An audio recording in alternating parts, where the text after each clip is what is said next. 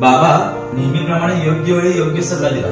श्री राजलक्ष्मी कन्स्ट्रक्शनच्या प्रोजेक्टमध्ये खूप छान गुंतवणूक झाली बाबा. हा घे तूही खा. मग काय बाबा? तुम्ही आधीच पेढे आणले.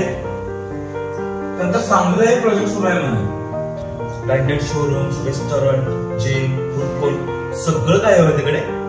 अरे multiplex theatre swimming pool clubhouse game zone सगळं काही असणारा भारती हॉस्पिटल जवळचा श्री राजलक्ष्मी मॉल आहे तो. हो ना बाबा. आपण तिथे पण गुंतवणूक करायला पाहिजे. लगेच परतावा सुरू झाला असता.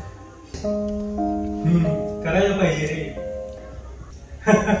अरे मगाचा तो पेढा आपल्या सांगलीच्या शॉप मधल्या गुंतवणुकीचाच होता. काय सांगताय काय बाबा? आय कांट बिलीव्ह अरे मी म्हणत नव्हतो का तुझ्या दादाला की पुण्यापेक्षा सांगलीत गुंतवणूक कर म्हणून?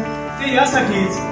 आमचंही काहीतरी प्लॅनिंग असते की रे बाबा I simple amazing Shri Rajlakshmi mall एकाच छताखाली branded showroom restaurant gym food court multiplex theatre swimming pool clubhouse game zone.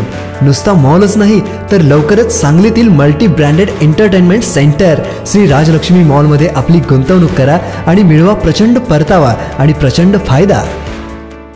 निर्विवाद विजय झाला. सांगली जिल्हा मध्यवर्ती बँकेच्या आज निवडणुकीचा निकाल घोषित झाला आणि मला विशेष आनंद आहे.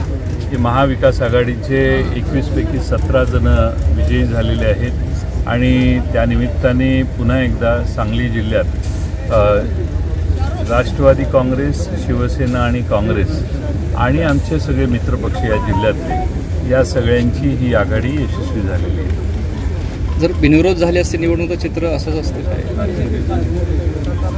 जर तरचा प्रश्न वेगळा आहे. तर प्रत्येकाचं बलाबल जे आहे त्याचा अभ्यास करून करता आलं असतं परंतु बिनविरोध नाही झाली. मतदान झालं. त्यामुळे बिनविरोध हा विषय आता फार जुना झाला.